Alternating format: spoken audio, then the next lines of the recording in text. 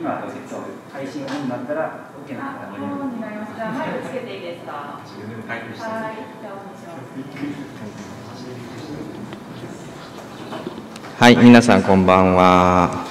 えっ、と兄弟建築のレクチャーシリーズで、あの今回は山本麻子先生と河合俊明先生にお願いしています。えっ、とですね、あのお二人は、えーまあ、僕がその学生だった頃に、えー共に兄弟で学んでいたあの関係ですごく僕もよく知っている人々なんで なんかこう紹介するのもちょっと気恥ずかしいような感じではあるんですが、えー、と先に紹介した方がいいのかな？うん、うんそうか、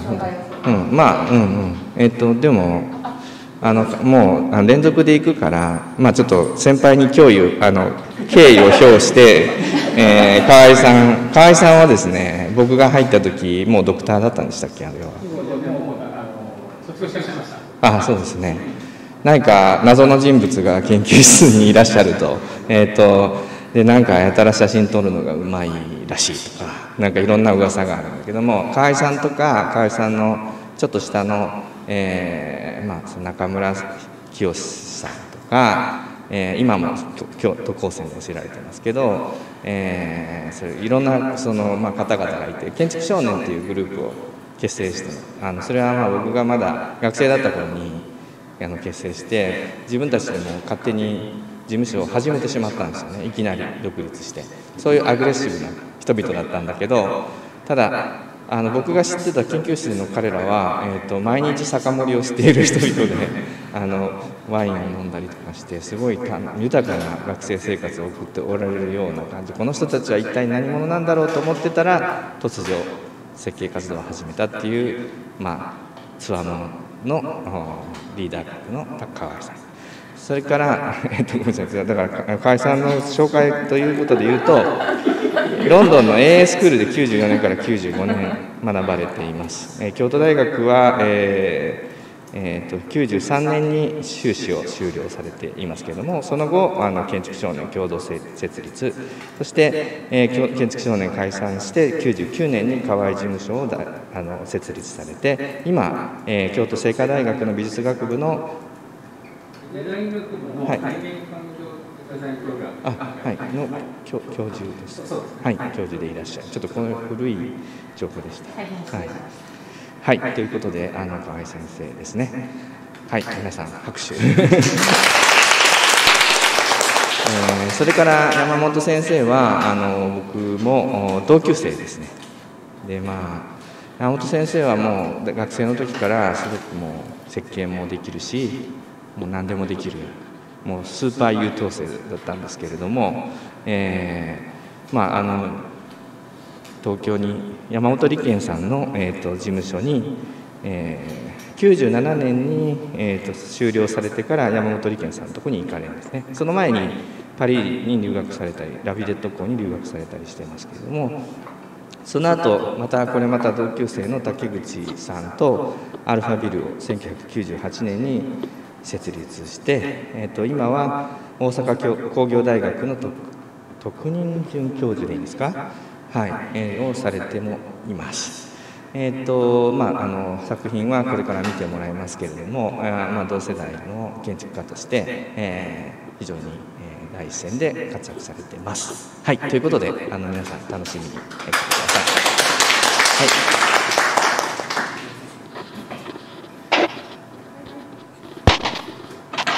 では皆さんよろしくお願いします。えっ、と今ご紹介に預かりました山本です。えっ、と京都の山陰の方でアルファビルという設計事務所を、えー営んでおります。えー、と今言っていただいた通り、まああの日頃の設計活動をちょっとここで皆さんにお話しさせていただくんですけれども今日はあの今のメンバーが今平田君が言った通りあの懐かしい顔ぶれなので後の方できっと話がもう少し盛り上がるだろうということで、まあ、作品についてはあのごくさらっとというか今どんなことしてるかというお話をちょっと見ていただけたらと思います。えーとまあ、ちょっと住宅の解体っていう課題あのこう大層なタイトルちょっとつけてみたんですけれどもこの前に3年生の皆さんにちょっと集合住宅をあの教えている後ということもあって、まあ、集合住宅自体もかなりいろんなシステムが変わってきて、まあ、住宅もすごくここ21世紀に入ってここ10年ぐらい設計をしていて自分が学生の頃に学んでいたことと状況が本当にドラスティックに今変わってるっていうのをすごく感じてるっていうあのような話ををしたいなと思ってこういうタイトルで、えー、持ってきました。えーと、1つ目に見ていただくのが2017年に設計した庭路地のシェアハウス、ま、庭路地の家っていうことで出したんですけれども、えーとま、シェアハウスっていうことで複数の人が住む家で、えーと、住む人みんなが使う庭と路地のある住宅ということで設計しました。えーとね、このこっち側にあるのが、えー、と御所です。もう御所のすぐ隣、すごくいいところで、まあ、特徴としては、これ、この辺の建物が全部見てもらったら分かる通りあり細長いですねあの古いいいあの町屋がもともとたくさん建ってたような地域なんですけれども少しずつこう建て替わりが進んでいてマンションなんかもちらほら見えるようになっているところのこれも建て替えですただですね敷地がすごい細長いそこに複数の人が住むっていうことになった時にまあここでの問題は、えーと、建物の出入りをどういうふうにするかっていうことになってで、まあ、建物のところにこう路地をちょっと作ってあげて細長い敷地なんですけどもあえてちょっと道を作ることでたくさんの人たちが使えるたくさんの入り口をこちら側に設けようという考えで作りました。でまあ、そもそもなんで路地っていうことなんですけれども一番最初にここに住む独身の女性の方が退職して住まれる家を新しく建てたんです。でその方はもう一人暮らしなので自分の住むとこは小さくていいんだけどなんでこんな京都の街中のいいところに住むかっていうとやっぱりもうお友達がたくさんいらっしゃる。それから自分の独立した子どもたちが周辺に住んでいる。そういう人たちが来たりそれからあの同志社が近いところなので、まあ、同志社の学生さん女の子を何人か住まわしてあげたりもしたい。っていうような自分がこう一人核になるんだけどこの家にいろんな場所を作っていろんな人と一緒に使うっていう。まあ、そういうあのお仕事をもう最初からそういう家を建てたいっていうことでいらした。それを聞いた時にあやっぱりこれから本当いろんな住まい方いろんな暮らし方があるなと思いました。でその方があお茶が趣味であの自分のお友達を招くのにお茶会を開くっておっしゃってこのこれが結構重要なティールームがね例だったんですけれどもそのお茶会には、えーと、やっぱりこう外からアプローチするものなんですよ。っておっしゃったので、えーと、お茶の場所が一番奥にあるんですけれども、まあ、そのための路地がいるよねっていうことでこういうことからお話がスタートしてます。プランニングはこういう感じになって。今言ったねたくさんの人が住むんですけれどもここから道路があって道路からこう車を止めて一番この奥のところにお茶会を開く時はお客さんがここからこうやってきてこう入っていくと。で普段オーナーが住むのはここのところ。でその前にここギャラリーって書いてあってキッチンなんですけどギャラリー扱いでここはあのなんだろうここもお客さん来るところ。でこっちもお客さん来るとこなんですけどこっちが、うん、あのラフな感じのお客さん来るところでこっちがお茶会するお客さん来るところでそれとそれの間に自分の部屋があってでかつここに、えーと、上のシェアハウスへの出入り口があるのでこの家には1個2個それからここに3個って出入り口があってそれぞれ使う人があの違うのでそれらの出入り口が必要なことがあのこの住宅の条件でした。こんな感じです。えっ、ー、とどれってこれ。すっごい細くてあのこっち側に対してはこういう顔を見せてるんですけどこれがぐっと路地になってます。でもう一つはなんでこんな風に細い路地を作ったかっていうと、まあ、こっちが南だったんですよね。でさっき言ったようにいろんな人が使うのでこの中はワンルームとかじゃなくていくつもの部屋に区切られてるわけですね。そのいくつもに区切られた部屋に、えー、住宅なのでやはり採光が必要風も必要そういう採光や風を導き入れる場所としてもこちら側を建物少し引いてオープンスペースを作ってこのオープンスペースからの光オープンスペースからの風が各部屋に回るようにこの路地はそういう役割も果たしています。1つ目の出入り口を入るとこういうふうにも階段があって上がると共用のキッチンがあってこれシェアハウスでこれまあずっと廊下が必ず集合住宅なのであるんですけどここではその廊下の向こうに、えー、っと御所のグリーンが見えるっていうやっぱり場所の地の利をあの表現したいと思って向こうにバーンってこれが抜いていたりまあ人がたくさんあの住むところなんですけれどもあの周りの環境をそれぞれにこう取り入れることができるようにこれも御所の緑が見えるシェアハウスの一つの部屋ですね。あと1階に降りるとこちらが先ほど言ったギャラリーでお友達を呼んでパーティーをしたりそれから近所にいる娘さんが私ここであの料理教室したいわって言ってはったので、まあ、そういうような場所として使えるように一番建物のこっち側に土足で作られてます。で左側見ていただくとずっとこのなんだろうな路地との、えー、境界面に沿ってまたもう一本の路地が向こうに抜けてる形になっています。一個奥に行くとここが、えー、クライアントのスペース。今って言われる部分なんですけどもう私はここで基本のことは全てするのでこたつあるしそれからここに顔を洗う洗面スペースもあるしここ小さい実はミニキッチンもあってここに古い、えー、っとタンス全部置いてでこの中に畳1畳分お布団1枚分のベッドがあってそこで寝るっていう自分の身体感覚ではすごくコンパクトなんですけれどもそこからこういっぱい触手を伸ばしていろんな人と暮らすための家になってます。でこれが一番奥の、えー、ティールームスペースですね。まあこの家の中ではここが一番いい場所と言っても過言ではないのでこれもこれ開けると向こう側に、まあ、御所の緑が感じられるようになっています。最後まあ見返しをするとこんな感じになっていてちょうど路地から本当光があのこちらの家の中に入ってくる様子がよくわかると思います。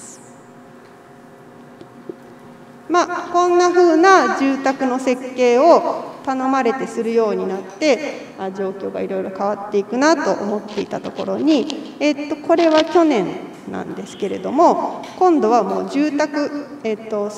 最近そうです。改修の仕事もそれから増えてきました。実際にもともとがかなり大きな住宅だったんですけれどももうそういうものを住宅としてではなく使うっていうようなお仕事も増えてきています。これが立派な門構えのあるもともと社長さんが住んでらしたお家みたいなんですけどこれを購入された方が改装したいと。ただですねこれ1980年代ぐらいの建物でこんなに立派なお庭があって、まあ、ちょっと全体的に和風のあの衣装なんですけれどもここの窓がもうアルミサッシで、えーとまあ、当時の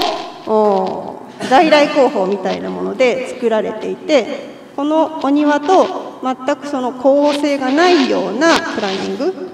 まあ、ここが LDK なんですけど中から見るとこんな感じでせっかくお庭が水平方向に広がっているのにその水平方向をぶった切ってしまうような、まあ、間違った和洋折衷みたいになっているなと。でここでプログラムが変わるっていうこともあって、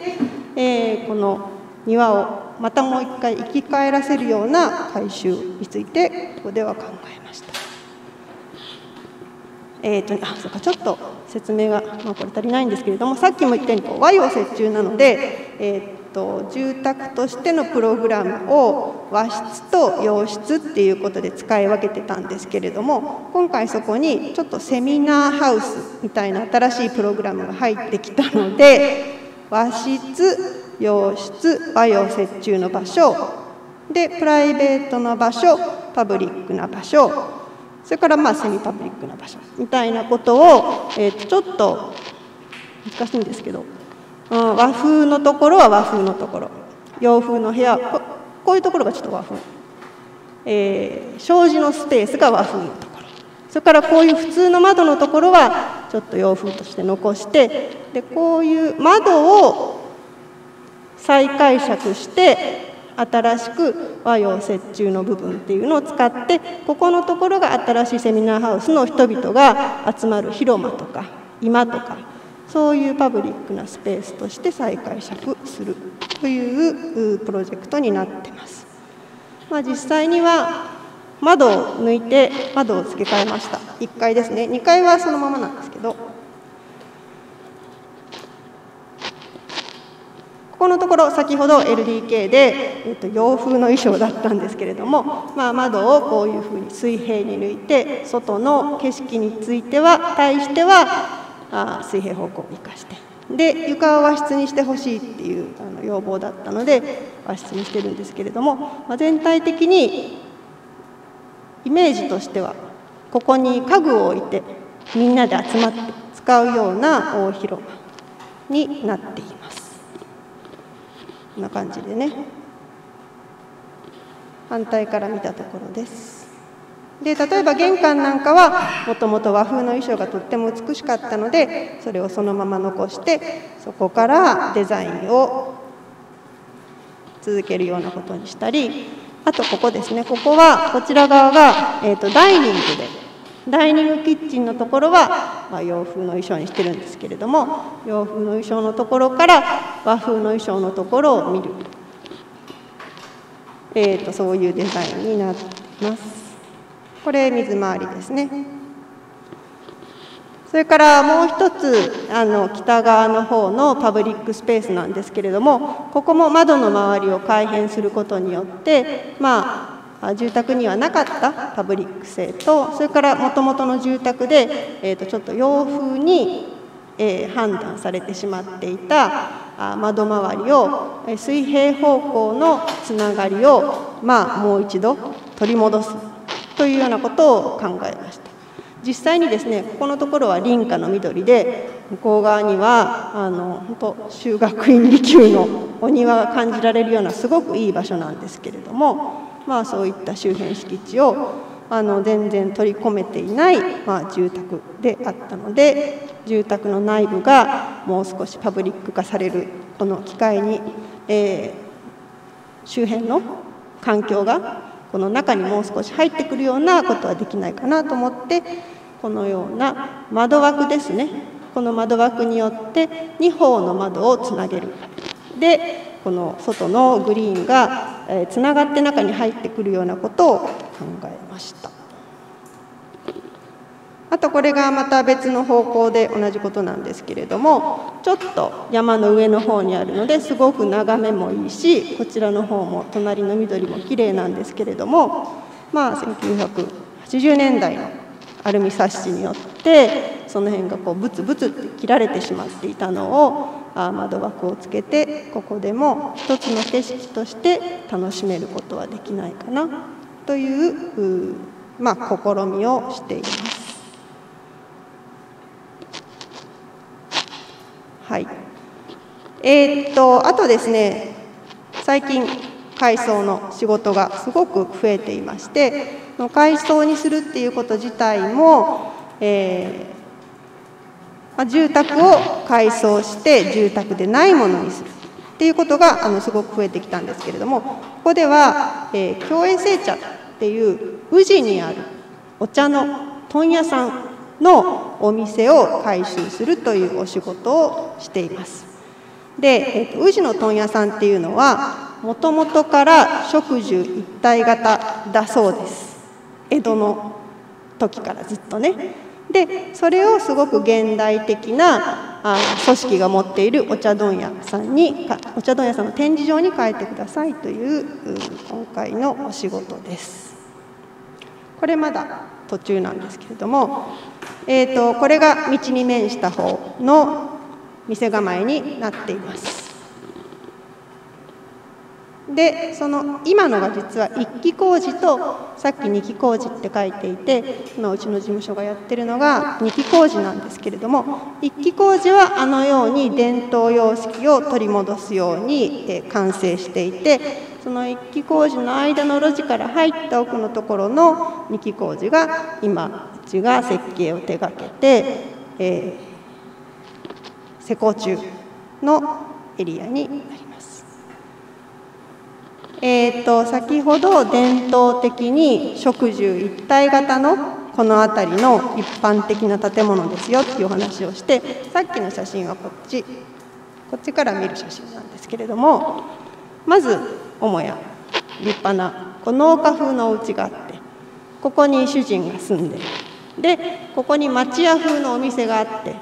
でここでそのお茶を売るっていうことをされてるみたいなんですけれどもえっ、と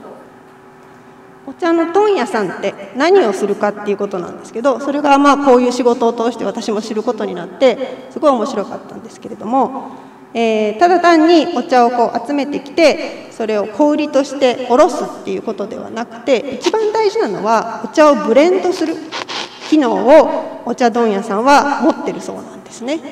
で近隣の農家さんから買ってきたお茶って、えー、量もまちまちだしそれから取れる年によって味が少しずつ違うそうなんですね。でそれらをある程度その年毎年毎年一定の味にしていくのがお茶問屋さんの主要な仕事なんだそうです。まあ長いこと私もあの京都に住んでお茶を飲んできましたけれどもお茶問屋さんっていうのがそういう仕事をするところだっていうことは全く知らなかったんですよね。でこれがもともとのあここでやってたお仕事植樹一体のあそこが10ででさっき言った審査室っていうのが重要でここで毎年のお茶の味をまあ、聞き茶っていうんですけど茶師っていう人がいてその人が味見をしてあ今年はこの農家はこういう味でこの農家はこういう味っていうことをあの判断した上でその量をこれとこれとこれを1対1対1で、えー、混ぜてくださいって決めてでここでブレンドをしてでこの大詰めっていうところで袋詰めをしてでここで売るっていうような本当に完全に植樹一体型のまあ、家業がずっとここで営まれていたんですけれども、まあ、まず第一にこのブレンドは工場に出てる。それから袋詰めなんかも今工場に出てる。一番重要な審査室はまだここに残ってます。ただ、まあ、オーナーももうここには住んでいない。っていうようなことがあってこの中を全部大改変してもうここはなのでもともと住宅だったんですけれどももはや住宅ではないものになっていく。で新しいあの用途としては全体的にまあそういうお茶の展示場にしていきたい。この辺なんかはお茶を売るとこでここはもともと蔵だったんですけれどもここでお茶を味見してもらうところ。それから先ほどここで袋詰めしてましたっていうところも改装して、えー、スイーツのショップ抹茶スイーツのショップになったり。あとここももうブレンドもなくなったのでここでサロンとしていろいろな催しをするような場所。でさっき言った診察室機能は重要なものとしてここに残るのと、まあ、こちらの方に実は工場がまあ、昭和になってから増築されてますので、まあ、その前室としての事務室関係の機能もここに残っています。でまあそれに対して私たちこれプロポーザルでお仕事をしてるんですけれども、まあ、提案したのがこの辺りの建物はまあ、全て古くてそれぞれの歴史がありそれぞれのプログラムがありそれに応じて建った建物なので、まあ、その構造も含めて今こういう形で、えー、と残していこうと。でそれに対してただ中庭に皆さんお客さんが来た時にそれぞれのところでどんなアクティビティがされるのかっていうのがよく分かるように、まあ、こちらの方を中庭に対してみんな開けていこうただその時に古い建物なのでまずああいうふうに構造補強をしてで構造補強をした上からこちらの方を全面開口部にしています。でそこのところがちょうど回廊状になるようにそこにガラスのひさしを設けるというのが、えー、今回。この敷地がもともとは人が住むところからもう完全に人が住むところではなくてえー外からの人を迎え入れる場所になる。時に対する提案としてこのような提案をしています。まあまだできてないのでパースです。こんな感じでね。古い建物と、まあ、新しい部分とのコントラストについてどうやっていくべきかということを今設計を進めていっているところです。えー最後にちょっと、まあ、現場の写真なんですけれども、まあ、古いやつでもう上からどんどん新しいものが足されていたのでまず解体作業から順番に進めていっています。でもまあ解体をすると、まあ、次第にこういう新しい梁とかそういうものが出てきてこういうあの木造のトラスなんかも、えー昭和の初期のものだったりしてすごくあの興味深い解体現場が今現れてきているところですね。はい、えー、とじゃあ今こんな仕事を私の事務所ではしていますということで紹介に変えさせていただきます。ありがとうございました。はい、山本先生ありがとうございました。じゃあ河合先生お願いします。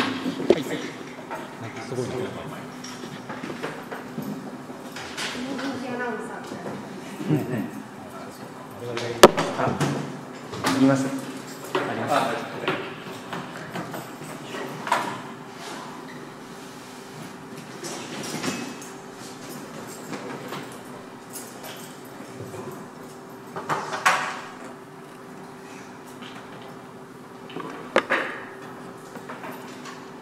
れが一番問題ないんで、とっとと始めますけど、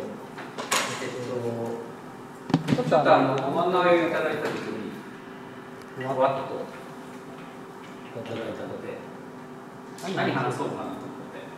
で、なんか、さらっと金策も売ってくればよかったのにって感じなんですけど、なんかもうちょっと、なんか、いろいろ考えて差し上げた方がいいかなと思ってて、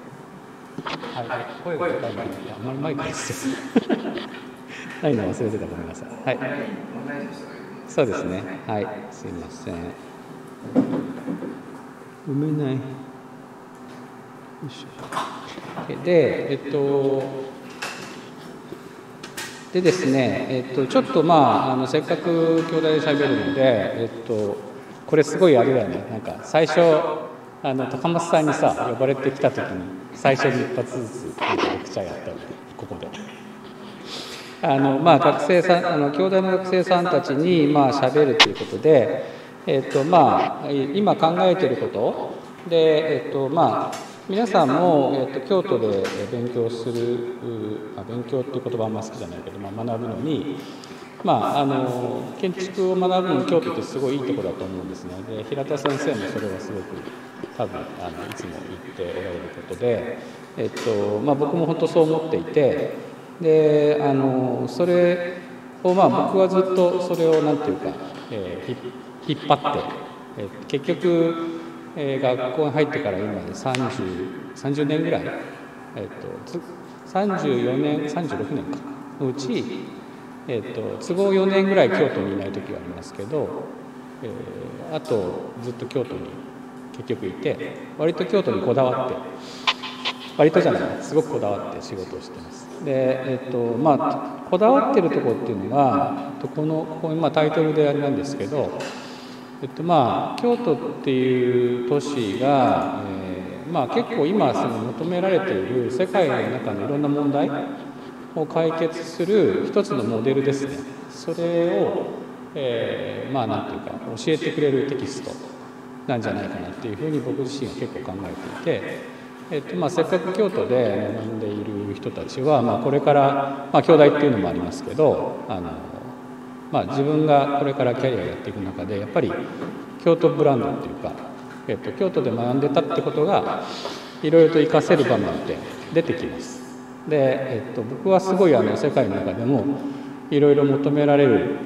ことがここで学べると思っているので、まあ、その触りをちょっとだけ、えっと、僕が考えたことをちょっとだけ紹介してでさらっとなんか最近やってる仕事を紹介しようと思います。で何を言ってるかあごめんなさいここにプエブラっていうのを書いてるんですけど実はさっきの紹介の中で、えっとえっとあれなんですけどあなかったんですけどあの僕この今、えっと京都聖火台っていうところで教えてますけど、えっと2019年までの2年間は、えっとメキシコの、えっとモンテレイ工科大学プエブラ校っていうところで教えてたんですね。で、えっとプエブラっていう町はえっとまあ、スペインがコルテスっていう将軍が来て、まあ、メキシコを植民地にするんですね。それ1516世紀1530年ぐらい。でその時に、えっと、メキシコシティを作るために、えっと、メキシコ湾から入ってきてでメキシコシティまで大体300キロぐらいあります。ので、えっと、その中間に中継都市を作ったのがプエブラっていう町なんですね。なので、えっとまあ、メキシコの中ではあのもちろんアステカとかマヤとかじゃなくてその、えーと、スペイン統治時代という中から見ると一番古い都市の一つです。で人口が、えーと、150万ぐらい京都と似てます。であの同じように世界遺産の都市で、えーとまあ、その伝統的な都市あの京都ですごく使えることがあるって僕が考えているのはえっと、大体伝統的あの歴史を持っている都市っていうのはあのいわゆるそのメトロポリスで人口1000万超えのメトロポリスあるいはメガロポリスですね。2000万とかそういうのがいる。メキシコシティとか東京ニューヨーク、えー、クアラルンプール、えーまあ、そういうその何て言うかな。都市と違ってえーまあ、京都もそうですし、まあ、パリとかアムステルダムとかマラケシュとかその人口数十万から、まあでえー、と最大で200万ぐらいまでの都市っていうのは、えー、と違うロジックでできているというふうに思っているんですね。それは自然あの割合自然発生的にできた、えー、とロジックがあって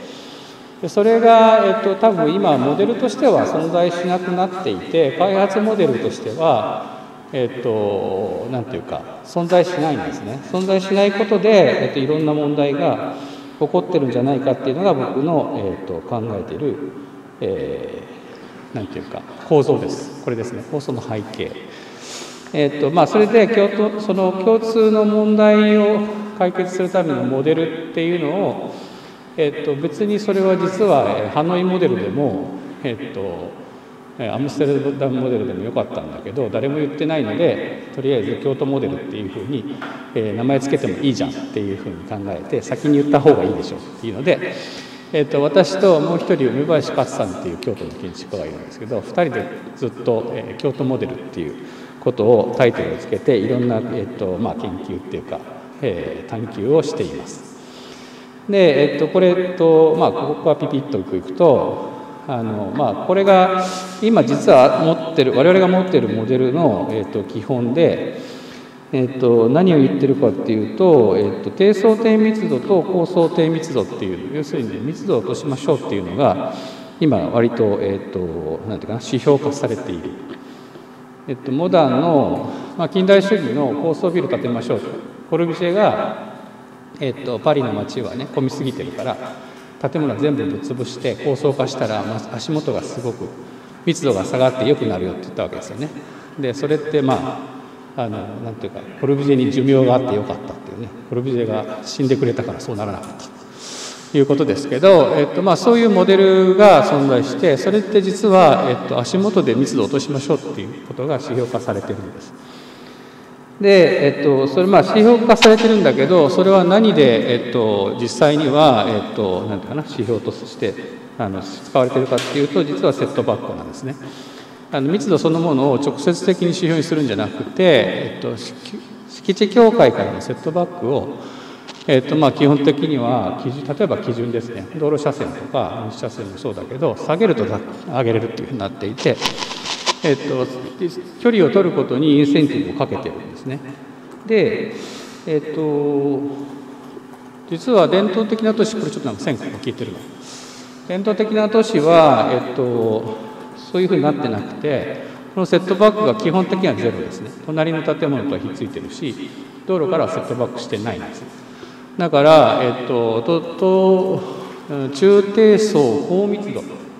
の形になってるんですね。で今例えば、えーと、COVID-19 の話で、えーと、密度3密をさせましょうとか言ってるけど実は、えーと、密度を下げるっていう指標はずっとあるんだけどそれをやることによっていろいろとデメリットが出てる。で、えっと、どうも私が思うに、えっと、今これのモデルはないので、えっと、都市開発は必ずこれを使うんですね。基本的に例えば容積マックスで建てましょうとか、えっと、いろんなことはこういう、えーまあ、そのさっき言った車線規制とかもそういうふうなモデルに乗っているので、えっと、誘導されてそういくんですね。だけど、えっと、実際例えば日本の中でも地方都市でえーと、超高層が1本しか建てない都市っていうのが結構あるんですね。ちょっとあの上げつらうとちょっと問題があるんですけどとかあのいくつかの都市で1本しか、えーと、超高層が建ってないところがあって、えーと、そこではですね、えー、とそこのエコシステムはその超高層を求めてないってことなんですね。1本しか建ってないってことそこのその社会のエコシステムがそういうふうに適合していれば自然に投資が起こって、えっと、たくさん超高層が例えば東京の都心とか大阪の北の方とかで、えっと、なるように立つはずなんですけどでよくよく観察してみると大体そういう都市の超高層は、えっと、公共にお金を入れて、えっとまあ、無理やり作ってるわけですねで作ってみたけど賃料も高いしその上のとこに入るそのオフィスの需要もないし店舗だったらそんなとこ誰も行かない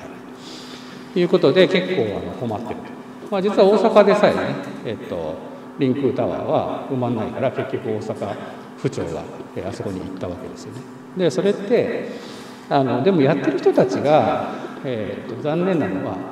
えー、と結構能力があって善意があってお金を使って頑張って作った結果失敗してるんですでそれってその人たちの問題っていうより多分そのなんかターゲットにするモデルがえーと、間違ってるんじゃないかなというふうに思っていて、えーと、中規模の200万ぐらいまでの都市では、えーと、違うモデルを持ってきた方が、いろいろと有効だろうというふうに、思うようになりました。でそれの、まあ、モデルを、えー、とタイトルとしては京都モデルというふうに私はつけていいんだろうというふうに思ってます。でまあまあこんなのは、まあ、もうねみんな知ってることなんで、え、っとなんですけどまあ、そうするといろんな問題が、まあえっとまあ、今も都市でこういうふうな問題全部起こってますよね。でまあ、その時に、まあえっとまあでまあ、なんで失敗してるかというと、まあ、さっきの話ね、えっと、メトロポリスモデルを中期戻しに使ったりあと今は、えっと、ナレッジベースの仕事をみんなここにいる人たちは多分あの製造業で工場で多分持つ人いないわけですよ。でまあ、この多分道歩いてる人もほとんどかなり少ないわけですよ。技術的には、えっと、知的労働の、えっと、ボリュームがすごく大きいのに、えっと、空間の作り方は結構あの工業生産の生産性を目指しているようなスペースの作り方になってますよね。それもえっと、それにも実は結構使えるんじゃないかそれから、えっと、京都って名前を付けてるこれが1個ポイントなんですけど、えっと、京都の、えーまあ、中規模の都市であること以外に歴史都市でなおかつ例えば1000年ぐらいのスパンでまあえっと名前を挙げて言うとちょっと語弊ありますけど例えば奈良と比べた時に奈良っていうのはすごく、えっと、歴史が古い歴史が奈良時代飛鳥時代のがあってだけどそれだけなんですね。それだけっていうかそれがすごく価値がある。だから奈良においてはえっと何ていうか今現在我々が何かをするってことは全て悪です。基本的に、えっと、価値のある古いものにダメージを与えるっていうことは、えっと、悪ですよね。だけど、えっと、京都っていう京都の価値っていうのを考えた時に、えっと、京都は例えば、えー、泣くよルース平安京の8世紀末にできてから、えっと、10世紀の京都もあるし13世紀の京都もあるし16世紀の京都もあるし18世紀の京都もあるし近代化してからの京都もある。でずっとまあいろいろありながらもアクティブな都市なのでどっちかっていうと時間的な多様性ですねこうミルフィーユのように、えーと、いろんな時代のものが積層されているところに価値時間的多様性に価値があるっていうふうに考えると,、えーと、そういうふうに考えるとですねあこれですね。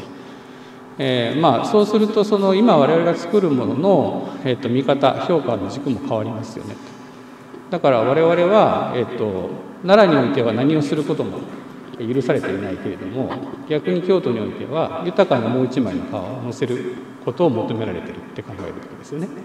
そうすると未来100年後に、えっと、もう一皮我々がえ京都を豊かにしたってことができる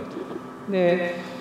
これはあの僕がいたプエブラっていう町の、えっと、これ10だから16世紀から16世紀17世紀18世紀19世紀20世紀の建物の分布なんですけど結構見事に混じってるんです。で、えっとまあ、これが、えー、この京都モデルの中で最後分かってないとこです。えっと、さっきのボリュームのあり方とか、えっと、いろんなことは、まあ、例えば、えっと、空気環境のことを考えても、えー、例えば重力環境を使って、えっと、エネルギー消費減らしましょうといった時に高層ビルより中層ぐらいのもので吹き抜けとか使って、えっと、重力換気で、え換気をすれば例えば中間気の空調負荷とか減らせますよねと。いろんなことを分かってるんだけど、えっと、今のえー、時間的多様性っていうのを建築の中でどういうふうに作っていくのか。これはあの実は、えー、工芸繊維大学から関西学院に最近移った米田明さんに、えっと、メキシコに遊びに来られた時に、えっと、ズバッと言われてで河合君それってどういう姿をしてるのでそれは僕も分かりません。でこれ今だから、えっと、分かんないんで持ってきたんです。だからみんなも考えてほしいんですけどえっと、これパリのクリニューっていう美術館ですね、えっと、これは、えっと、パリの中にあるんだけど、えっと、ローマ時代ぐらいからの、えっと、遺跡のところにどんどん中世の、えっと、キリスト教の教会建築を乗っかってで、えっと、割と近世の、えっと、増築もあってすごい不思議なこう融合した、えー、折衷的な建築なんだけど、えっと、非常に不思議な感じなんだけどえーと、だから全体像をすごい捉えることが難しいんですね。難しいんだけど、えーと、実際行ってみるとすごく何ていうか面白いあの豊かな空間があります、えーと、機会があったら、まあ、パリ行ってね行くとこいっぱいあるんだけど、えー、とここも結構面白いですよっていう話ですよね。でこれは近代のものも実は混じってるんで、まあ、ここはあんまりいいと思う。まあこれはまあカステルベル教ですね。まああのえっと、なんかレイヤリング手法手法としてはやっぱりすごいですよね。これまあ僕自分でやったやつですけど、えっとまあ、分かんないなりにずっと,、えっと古いものとその、まあ、なんていうか重ねていく手法っていうのを、まあ、これ実は2000年ぐらいにやったので一番最初ぐらいにやった、えー、仕事ですけど、えーまあ、そういう興味を多分持ってたのかなと。でえー、まあ、ここからが、いや、違いました。これ、プエブラって、これ僕が住んでたうちで、え、ー、と、竹山先生もここ来て泊まってきました、ね、はい。で、えっ、ー、と、さっきの話で、えー、まあ、物、なんていうか、実際の、あの、なんていうか、分かんないところ以外のところで言うと、えっとまあ、ポイントですね、ポイントの一つとしては、やっぱり、えっと、必ずコートハウス型になるんですね。でコートハウス型になってくる時に、えっと、そこのコートハウスの使い方っていうのが結構あのポイントになってくるねっていうこれベスインダッドって言ってメキシコの伝統的な集合住宅があさっきのあのえっ、と山本さんが、えーと、集合住宅の話されましたけど僕も集合住宅すごいテーマにしていて、えーとまあ、僕は割とその、まあ、今話してても分かってもらえる通りえーと、割と社会学的なっていうか、えー、そういうふうな興味でもって建築を考えてるので、えーとまあ、集まって住むっていうことのメリットですよね。で都市に多分こだわってるっていうのも都市っていうのはやっぱり集まって住む集まってシェアすることで価値が出るっていうことがポイントだと思っていて、まあ、だからどんな価値が出るのかって集まってることでただ数があるんじゃなくてっていうことを考えてるんですけど、まあ、その時にパティオっていうのが多分、えっと、一つのバティオっていうか、まあ、日本語だったら中庭あるいはその、まあ、京都の場合だとその、えっと、パティオが中庭じゃなくて壺庭になって橋寄せになったりするんですけどそれはあのバリエーション的に変わっていくけど、まあ、それがどういうその、まあ、これメキシコのだからこうホームドラマとかでもこういうのがあるんですねなんかね。でこれ面白いんですけど、えっと、トエブラの都市模型で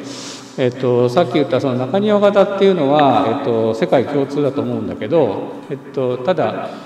えー、なんていうかその形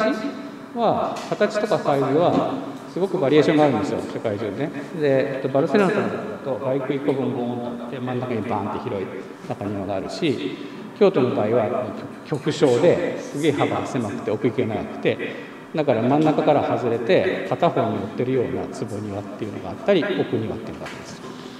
で、えっと、プエブラは京都のね外区が1.5倍ぐらい。で建物の大きさもまあ終わりのしか。倍そうする。でプロポーションが2対1ぐらいになってて、えっと、パティオがね1個の建物に対して2個か3個あるところなんですよ。でしかも、えっと、2つあったり3つあったりするパティオは、えっと、ちょっとアシンメトリーずれてる。そうすると、えっと、中の体験としてはすごいねあの気になるんですね動きが出るあのなんかこう誘い込まれるように、えっと、その1個のパティオに入っていって次のパティオにつながるところが見通しが効いてなくてでもなんかあそこ抜けてるなっていう感じになっていたり、えっと、ちょっとだけずれて向こうが見えてたりとかいろんなあれがあります。えっと、パティオの、えっと、バリエーション的な使い方はアトリウムですよね。屋根かけたら、えっと、アトリウムになると。なので、えっと、実はそのえっとまあ、パティオとアトリウムのその狭間にあるその作り方っていうのが結構えっとなんていうかな建物のその中で起こるアクティビティを結構決めていくんだろうなっていうふうに思っています。これこれすごい面白いやつで、えっと、これねプエブラの建築家なんだけど、えっと、テントをすごくうまく使って外部感ありつつ、えっと、うまく屋根をかけるっていうのがえっと、他にもちょっと作品があるので今いい写真がなかったんですはい。これここから、えっと、自分の設計ですね。これ、えっと、メキシコ行く前ですけど、えっと、兄弟の刺繍館って、えっと、医学部の中にある建物ですね。木造で、えっと、一応京都市で初めての、えっと、木造3階の1000平米超えの準体建築です。まあ別にねあれだけどちょっといろいろえっと施設とはバチバチがあってあんまりあれですけど、えっとまあ、やっぱりコートハウスになってて真ん中のところに、えっと、小さいコートがありますね。でそこが実は結構いろんな機能を担っています。でこれ、えっと、メキシコシティで、えっと、日系の春日っていう、えっと、財閥があってそこが割と、えっと、日系社会のメキシコって結構日系人たくさんいるんですね。で、えっと、あのブラジルとかよりあの日系移民の歴史が古いんです。えっと、なので、えまあ、そこの、まあえー、親分っていうのが、えーまあ、日系社会の割となんていうか大大親分になっていてでドン・カルロスっていうんですけどね。ドン・カルロスが、えっとまあ、日系の人たちも、えっと、すごく年を取ってきて、えーまあ、2世 ,2 世3世とかもすごい年を取ってきてでそのメキシコでもない日本でもないっていうか、えっと、もう、えっと、1世の人たちは日本人じゃないですか。だけど、えっと、2世3世の人たちは、えっと、もう、えー、日本語喋れないし、えっと、スペイン語しか喋れないしメキシコにずっと住んでるんだけどやっぱりその、えっと、お父さんおじいちゃんが、えっと、日本人なので、えっと、すごく日本的な部分もあるっていうことで、えっと、そういうそのベシンダットみたいな、えっと、カルチャーとあのまあなんかそういう日本人的な部分っていうのを組み合わせて中に作ってるようなものをやろうっていうことで、えー、プレゼンして大受けだったんですけど、えーと、契約で揉めてなんか資金繰りでまた揉めて、えーと、結局まあ、えー、延期という名前の多分中止になっちゃったプロジェクトですね。これは、えーと、もう本当にさらっと金策で哲学の道の辺にあるこれメキシコから帰ってきてからの仕事ですけどえーと、なんというかヘーベルのもうなんか何とも言えない脱製アパートを、えーと、改修して、えーと、ギャラリーにしました。これ、えー、とオープニングで山口めぐるさんっつってナイキとかと結構コラボってるニューヨークの、えー、とアーティストなんですけど、えー、の展示をやってた時の写真ですね。はい。まあちょっとこれ僕が撮った写真あんまりこうバチッとしたやつじゃないんですけど、はい、ちょっとまあえっ、となんていうか折衷的に作っているとか、まあ、これはもともとヘーベルハウスなんで、えーとまあ、それをこう穴開けつつ、えーとまあ、ブレスとか実は中には隠れてるんですけどみたいな。で2つのアパートのユニットを、えーとまあ、穴っぽく開けてちょっとつないでみたいですこれ,、えーと、これが、えーと、一番最新のやつでまだ、えーと、竣工写真も上がってきてないんで、えー、と私のスナップですけど、えー、と直島の方でえー、讃岐漆器っていうのがあるんですね。漆のね。でそれを、えー、と展示するギャラリーを、えー作りました。で、えー、とこれリノベーションですね。でこんななんかあのザ、まあ、ここなんかちょっと高台のところにあってあのなんかおそらくこのなんか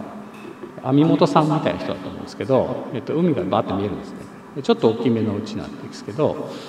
この座敷みたいなところを、えー、と床取っ払って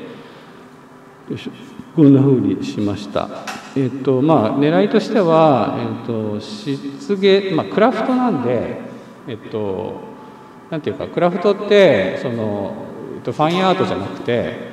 あの一応生活の器ですよね。だけどえっと讃岐式ってまあ興味あったらちょっと調べてみてほしいんですけど、すっごいあの技法的にすごく凝ったものでめちゃくちゃかっこいいんですけど、えっとあのあんま知られてないんですよね。でここをななんで直島に、えっと、讃岐漆器のギャラリー作るかっていうと、えっと、そのやっぱり高松にはあんまりこう世界中の人はあんま来ないので、えっと、直島にそういうアートとかクラフトとかね割と興味ある人がでリッチな人が来るのでじゃあ直島で、えっと、展示しましょう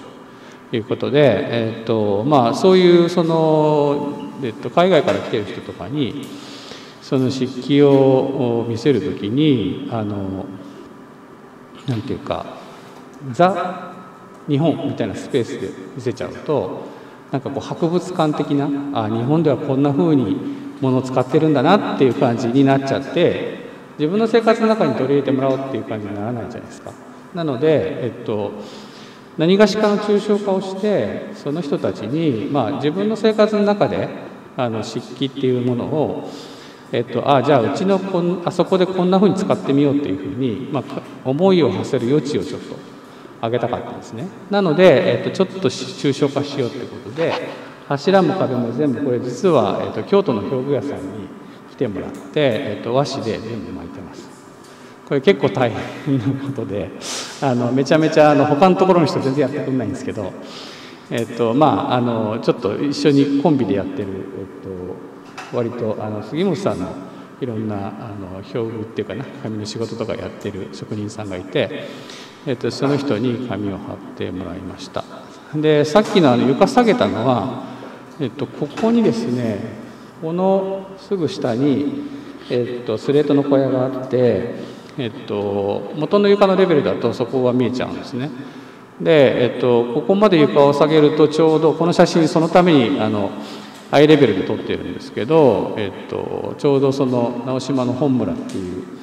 えっと、町並みのえ屋根とそれから海とそして向島っていうあれ島なんですけど、まあ、結構あの日本昔話みたいな。ちなみにこの辺になんかあの瀬島さんのあの丸々丸のやつが映ってるね。でもう一つの展示室ももともとこんなやつやったのを、まあ、こんな感じにしました。はい。以上です。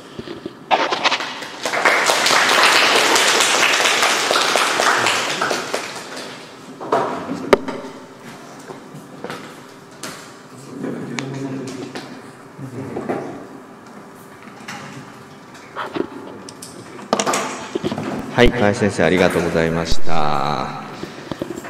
えー、とあの休憩に入りたいと思いますけれども、ちょっとだけ、まあ、河合さん、河合先生はやっぱりあの京都でずっとやられていて、えーまあ、あの京都っていうものをちゃんと引き受けようということをずっと考えてられるんだなというのはすごく感じて、まあ、その京都モデルっていう話とか、えーその話、まあ、メキシコに行ってもずっと京都のこと考えてんだなと思って。で、まあ、そのさっき言ってたあの、まあ、折衷というような話が一体どこにつながるのか後でちょっと聞きたいなと思いました。あの山本さんたちは、まあ、また同じように京都でずっとやっているんだけれども、まあ、京都に対してもうちょっとこう何かモダンな概念をこう導入することで何かそのぶつかりで何が生まれるのかっていうようなことをずっとやられているようにも見えます。そのお二人はちょっとある意味で対照的なアプローチしているから、まあ、その辺あのもう少し後半で話せるといいかなとちょっと思っていますがあともう一つはこれ一応あの集合住宅の課題の、まあ、プレレクチャーとしてもやっているから、えっとまあ、今今日お話しされたことももちろんそれと関係すると思うんですけれどもこれからあの皆さんあの集合住宅デザインするにあたって今日話されたことがどう関係するのか少しその辺のヒントもあの後半で話せるといいかなと思います。はい、では休憩に入ります。はい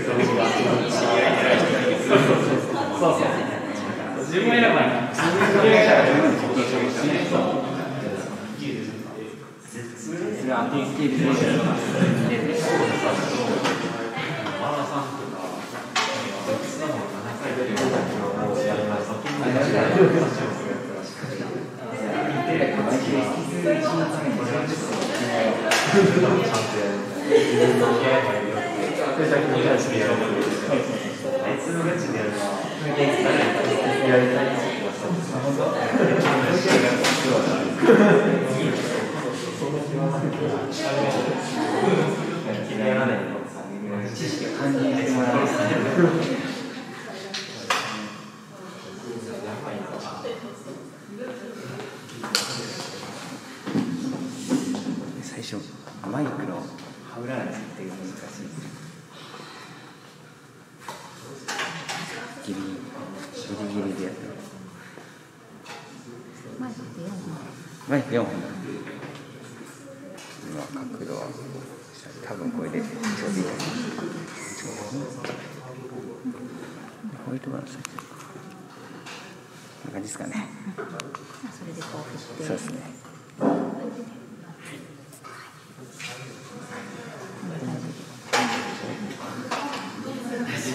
れをアップした方が良さこれが、えっと YouTube ライブにつながってます、まあ、ツイあの先生方のあのものと両方先生方のパソコンのやつ両方でスイッチングしてあの学会できます。会長の挨拶あ会長の挨拶できます。あのでも一つカメラが安い方がやっぱもうダメになっちゃったんであのカメラもう一台あ全然違いますね。あのもう全然見やすさ違います。GH5 こっち GH5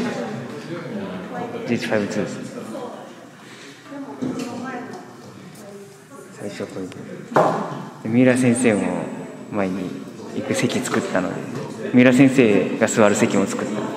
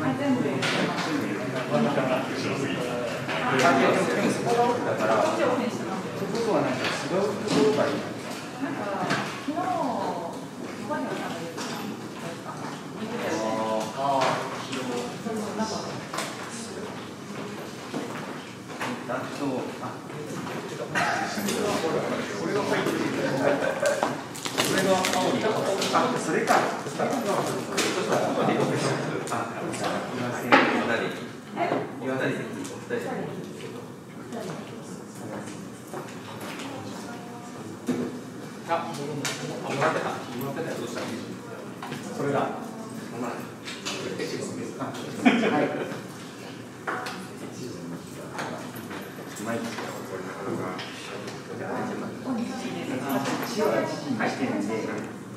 あ、あのあとは平田先生の作業で。はい。はい、えっーと、後半に入りたいと思いますが、あの通常時間の枠としては大体30分ぐらいで話すそんなにたくさんは話さないかもしれないんですけれども、えーまあ、今日はあの、えっーと、就業だったり課題にこれから取り組む職があの、まあ、どんどん聞いていれるということで、えーとまあ、それぞれの先生方のお話が、多分集合住宅っていう課題とも結構絡んでくると思うので、えーまあ、その辺を話してもらって、えーそれぞれ自分の話したことがこの課題とどう交差するのか少しどういう考えられてるかっていうのはちょっとお聞きしたいなと思っています。はい、まあちょっと先にじゃあその質問というか河合さんからじゃあいきます。はい。ええーと話したこととその集合住宅がどう関係してるかって話？そうですね。河合さんにはあの実は図書館の課題を受け持っていただく。そうですねはいまあでもあの今日はなんかいやそうあのなんかね平田先生がすげえチャレンジングの図書館やってるのに図書館の課題をあの指導しろとか言ってなんか恥かきそうなんだけどいやまあでもすごくあのそれは喜んでます。あのなんていうか本当にあのあれ分かんなくて。見てもあの竹山先生のね体感のねあれでえっと僕あのこのさっき見せた直島のやつ出してたんですけどえっと平田先生は確かねあれを図書館のやつで出しててでも、えっと、本当にどうなるか分かんないなって思ってすごく、えーワクワクしているので、えっと、あのすごくこの図書館の課題のあのあれ来たことはすごい喜んでます。で、えっとまあ、あまりだらだらしゃべってないので、えっとまあ、集合住宅の話はですねえっと、僕自身はかなり、えーいろんなこう側面から、えっと、こだわっていて、えっとまあ、一つはね都市都市的な文脈の中であの割とその例えば集合住宅とかオフィスビルっていうのを、えっと、で割と軽視されてるなと僕思ってるんですね。であと福祉施設とかもなんか割と置いていかれててあの建築家がやるもんじゃないっていうか建築家はなんか美術館とかあのホールとかなんかやるやるのがなんか派手でかっこいいみたいな感じだけど、えっとまあ、都市の大、まあ、ボリュームで考えると都市ってほとんど集合住宅と、えっと、オフィスビルとかでできてるじゃないですか。なのでえっとまあ、僕の友達っていうか尊敬する友達尊敬する先輩でフェリックス・クラウスっていう建築家がいるんですけど、えっと、フェリックスが出した本で「えっと、アイディアル・スタンダード」っていうタイトルの本があって僕それはまあ建築家がやる仕事としては重要なことだなと思ってるんですね。えっと、スタンダードのボトムのあのレベルを上げるっていうスタンダードを作ることで、まあ、さっきのモデルもそうなんですけど、えっと、それは大事かなと一つは思ってます。であとはさっき言ったその集まって進むってことのメリットですよね。あの僕えっとえそのさっき紹介してもらったロンドンから帰ってきたのは実は、えっと、僕神戸の出身で95年に、えっと、震災があって帰ってきたんですね。本当は、えっと、その前はあのロンドンに行って、まあ、僕ちっちゃい時アメリカに住んでたんで割と海外志向が強くてそのまんまロンドンで、まあえっと、RIBA の資格を取ってメンバーシップになメンバーになってで、まあ、ポスターとかねところで働いてでロンドンで事務所持とうみたいな感じの、まあ、妄想を持ってたんですね。なんだけどまあその時に、えっと、さっきの平田先生が言ってくれた、まあ、京都にこだわってるっていう話はあの本当にその当時の A スクールはすごいコンピティションが激しくてでなんかあのその中でだんだんこうそれって違うかなと思うふうになったんですね。で多分その本当にこうなんていうかなコンペティションを勝ち抜くにはやっぱり、えっと、自分が日本人であるってことをもう一回見直した方がいいなって思ったんで、え思ってた時に震災がありました。で僕んち実家も、えっと、2棟あったうちの1棟が全壊して、えっと、それで帰ってきたんですね。で帰ってきてえっとまあ本当は様子見に帰ってきたんですよ。でうちの実家はまあ、えっと、建物は壊れたけど、えっと、誰も別に怪我もしなかったし、まあ、実はあんま困らなかったんだけどえっとまあ、ロンドンに帰る時に実は、えっと、さっき言ったメあのメンバーたちが、えっと、見送ってくれて、えっと、国内のあの国内便には乗ったんですけど、えっと、それ乗った時にあの離陸する瞬間になんかこれどうも違うなと思ってそのまま東京からまた京都に戻ってきてでその日から事務所を始め実は始めたんです。で、えっとまあ、当然キャリアがないので、えっと、神戸で全然仕事なかったんですけどえっとまあね、三浦先生とかすごいその頃、ね、小林連でいろいろやっててあのそういうのをあのなんていうかえっと仕事はないんだけど、まあ、そういうプロフェッショナルの仕事が人がやっぱり、えっと、帰ってお勉強してる場合じゃねえだろうと思った。で、えっと、実際その、えっと、復興していく中見ていく中でねえっとまあワンクール終わって、まあ、そのなんていうか暑い時期を過ぎて、えっと、ある程度復興住宅とかできると復興住宅ですごい孤独死とかバーッと出てきて、まあ、これ本当に三浦先生のあの守備範囲なんですけどでなんかこれすごい間違ってるなと思ってあのしすごいなんていうか堅牢なあの集合住宅がいっぱいできてでその鉄壁の奥であの誰にも気づかれずに死んでる人がいっぱいいるっていうのはすごく間違ってるなと思ったんですね。でこれをやっぱりあの集まってるってことが本当にメリットがある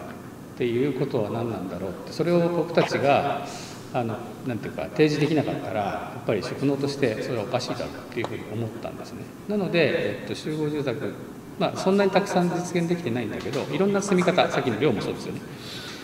えっとまあいろんな住み方はあるけど逆にその、えっと、山本さんがさっきが見せているようにあの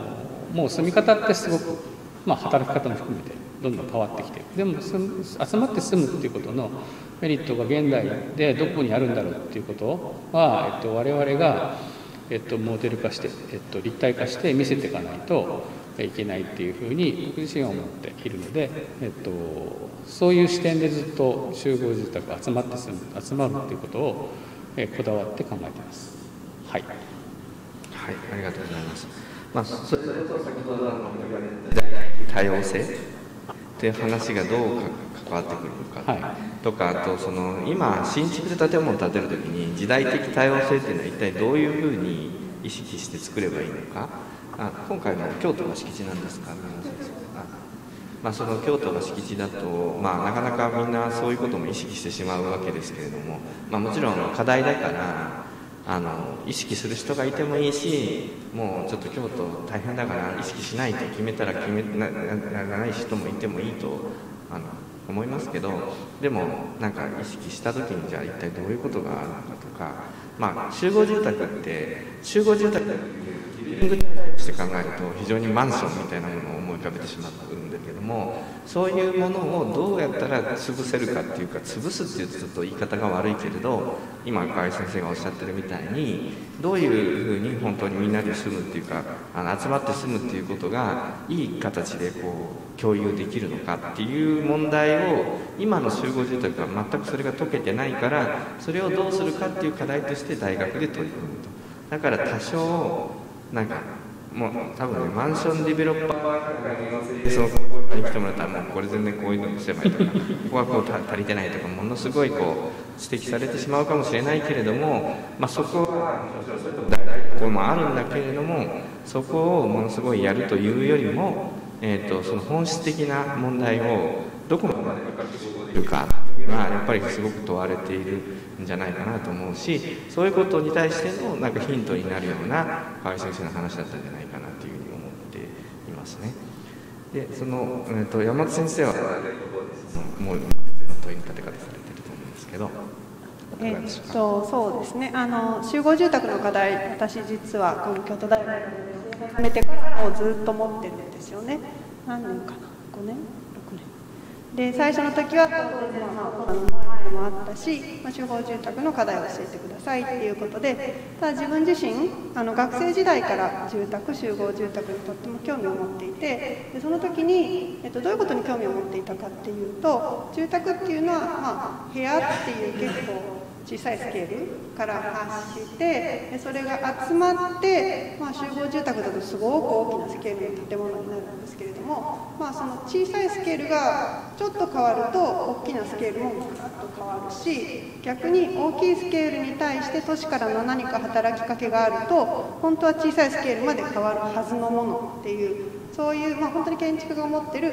あるいは建築家があの楽しめる小さなスケールから大きなスケールまでをこう縦横に行くようなあの考え方とか計画力とかそういうものを、まあ、課題がれたらなと思ってスタートをしたんですけれどもでそのためには京都っていうあの土地いいんじゃないかなと思って。というのは今さっきもおっしゃったんですけど今の集合住宅ってあまり強制力みたいなのがない中であの一軒一軒の家がみたいなころでできちゃっているので現代の集合住宅が。でそこに対して京都っていう都市のちょっと強制力みたいなのがあるところでやった方が、まあ、集合住宅としての発信力みたいなことを皆さんも意識してもらえるかなと思って、えー、京都っていう敷地を選んで大きなスケールからのことにも気を払ってほしいと思ったんですけれども、まあ、で何年かやって今コロナをやっぱり超えてきてあのもうどっちかっていうと個の生活みたいなのにはある程度あの、うん、もうこれ以上いろいろ考える余地はないような雰囲気に21世紀に入ってちょっとなってたんですけれどもあのドラスティックに本当に生活も働き方もでそれをあの応じるように私のクライアントの人たちも向こうの方からも新しいプログラムを提案してくるような状況に対して、えー、っともう大きいスケールじゃなくて小さいスケールの方が本当はもうあの要望が変わってきているのであのもう集合住宅にこれからすごい面白いんじゃないかっていうふうに考えていてそれを今の時代の皆さんにぜひ提案してほしい。もう今までと違う生活を見せてほしいなというふうに思ってます。なんかあの後半でお茶屋さんとかお茶屋さんってお茶屋っていう言い方じゃないなあれはお茶問屋さんとかなんかまあそのもともと古い建物をまあ、それこそ時代的多様性が出るような話っていうのは割と理解しやすいじゃないですかただ今回新築で建てるから学生たちはそう言われてもなっていうのはあるんだけど例えば最初の、えっとすごい長い家あるでしょ、あれってそのおせさんは結構もう年取られたみたいそうですね。でも結構リタイアしたから一人で住むような感じでもいいんだけどなんかちょっと他の人がいた方がなんか楽しんでっていうのであのちょっとこうカジュアルなリビングとお茶室が自分の住んでるところのその平等なりにあるような環境で住んでるじゃない？それって結局要するにこのおせっさんは多分もうちょっと古い時代から受け継いだ、まあ、身体性を持っていてあの、まあ、もちろんベッドとかあれってパタンと出るみたいなあの話だけど、まあ、布団引いて寝たりとかしてた人からしてみたら、まあ、それ普通なんじゃないのっていうぐらいの感覚なのかもしれないなと思って見ていてつまりそういうこう古い、まあ、古いというか、まあ、その時代からある一方でもう一つあの上にはそののシェアハウスみたいなのが住んでいたり、まあ、もうちょっと新しく使ってる人がいたり、まあ、あるいはその茶室みたいにもっとかしこまった身体性があったりと、まあ、あの住宅の中に新築であるにもかかわらず、まあ、いくつかの全然違う時代の断面が現れるような人の振る舞いみたいなものが実はこう混交しているんですよね。でそれその時代的多様性っていうふうに言うことも、まあ、また可能かもしれないですよねだからそのただあのあれはその建物としては割と形式的には割と一つの形式でそれをこう統合してるからそれがすごく、まあ、見えなくしてるっていうか、まあ、そういうこう一個のものの中にこう入れちゃってるじゃないですか。本当にそれだけが回答なのかなって見てた時にちょっと思ってそのこうなんていうか並列性みたいなものが、まあ、それはそのこれ見よがしにそれを見せるっていうのもそうじゃないのかもしれないけどだから結局河合さんの問いだなんですか、えー、折衷折衷性みたいなものが一体どういう形をとるのかっていうは、まあ、非常にこう考えてるような話なんだけど具体的にどういう新しい権利を取っていくのかっていうののなんかヒントとしてはああいうあり方がもうちょっと何かあの今回の集合住宅でも住む人がもっと多様であるわけだからあのなんか違う身体性が伴ってるのが認識共存してるっていうのがどういうふうにちゃんと形にできるのかとかなんかそういうの具体的に考えるとおのずと何かもうちょっとこう普通にねなんかもう LDK の部屋が何個あってみたいなでも全部同じでやるよりもなんかもう少しそういうあの固有の身体性を持った人たちを想定して考えていくとかいろんなやり方があるんじゃないかなと思ってとにかく集合住宅の課題って硬くなろうと思ったらいくらでも硬くなれるんですよ。ああやってユニットを組み合わせるから。でまたそのユニットを組み合わせるのってある種の快感があるから。その快感にこうあの乗っ取ってやっちゃうとなんかそのユニットみたいなものが容易にできちゃうんですよね。だけどそれが本当に面白いのかそういうことを考えたいから生きてるのか。じゃなくてちょっと人間がどういうふうに生きるのかっていうことをあの考える。集合住宅っていうのをこの兄弟の、まあ、この今大事な中で皆さんに取り組んでもらってるっていうそういう話かなと思っていて、まあ、そこら辺をどこまで通ってきてくれるかがあの僕も高評価の時に楽しみだなと思ってちょっとプレッシャーをかけてしまってるかもしれないけど、まあ、要するにすごい肩の力を抜いてもっとその自然にえそこで生きる人のことを考えて作るっていうところから始めていくことであのもしかしたらその河合さんが言ってたようなその混交性というかそういう折衷性みたいなものもそういった多様性がおのずとになったら一番いいなとちょっと思っていました。はい、ちょっと難しいこと言ってたかもしれないですけどでちょっと三浦先生も少し今のこの話も受けて、えーまあ、学生の方々に含めて何かいただければと。はい、えー、今日は皆さん本当に長い間お疲れ様でした。6時20分ぐらいワークショップをやって あの相当ハードだったと思うんですがただ集中していろんなアイデアが出てきたのはさすがだなと思って見ていました。えー、ただし、えー、皆さんの発表を聞いて皆さんも思ったかもしれませんが今日山本先生と河合先生のお話を伺ってね、えー、もう一回やっぱり自分たちにとってどう豊かな空間を作るべきかっていうのが、え少しみんなの問題意識からまだ遠いような気がしたんですよね。で山本先生お話になった最初の上にシェアハウスがあるような話というのは今日皆さんのアイデアの中にも結構出てきたものにもちょっと近いと思うんだけれども僕が知ってるある大学の先生も将来リタイアした時に、まあ、それは女性の先生なんだけどね若いツバメ男の子を上に住ませるためっていう戦略で新築の戸建てを作ってらっしゃる方もいらっしゃったりしていて結構ねそのみんなは今日あのかなりこう無理やりな提案を頑張ってくれたのかもしれないんだけど現実的にはそういう動きもしっかりあるからどういうふうに豊かな生き方ができるかっていうことをもう少しこうあの受け入れやすい形って言ったらあれなんだけど、うん、考えていった時にこう結びついていくんじゃないかなって思いました。それから河合さんのお話はすごい面白くてやっぱりあのロンドンの話とかメキシコの話とか常に、まあ、海外と相対的な視点をねお持ちなのですごく刺激的で。やっぱりどうしてもあの東京スタンダードで日本の建築の世界が動いてるとような気がするんでね。でも今日言われてハッとしたのはいやもしかしたら今コロナの中で新しい、まあ、個の空間というのがいろんなところに出現できるチャンスになっていて今までは東京一人勝ちだったんだけれどもあ言われてみたら確かに京都的なスケールの都市の方が世界には多いわけだし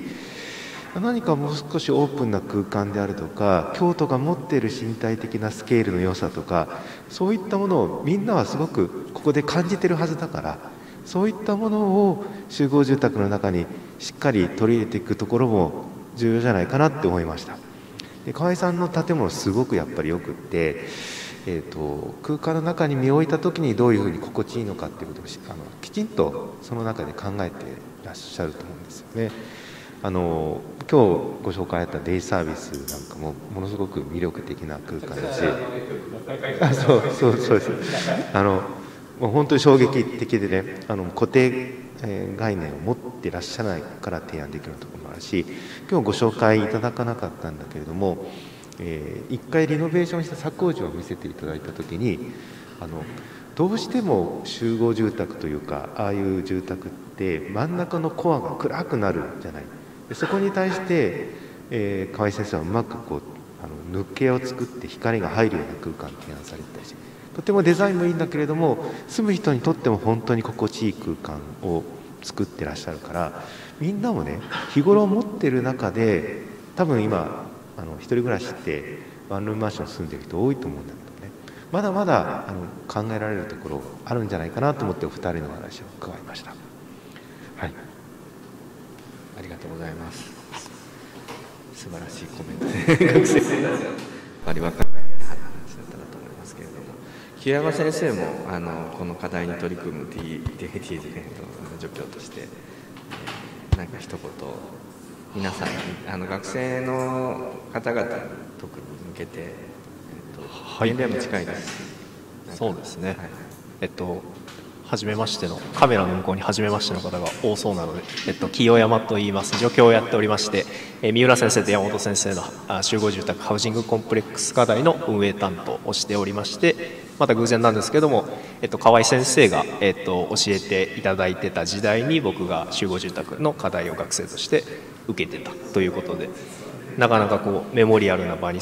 偶然座ることになった。そうですね。なんか感慨深いなと思いながら。見てました。えー、っとそうですね。僕の方からはま感想に近い質問に近いみたいなことをちょっと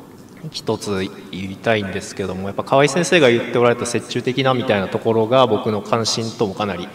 近いとこもあるしある種まあ僕以下のまあ若い世代とかにおいてもかなり興味のあるところなんじゃないかなと思ってるとこがありましてで山本先生のあの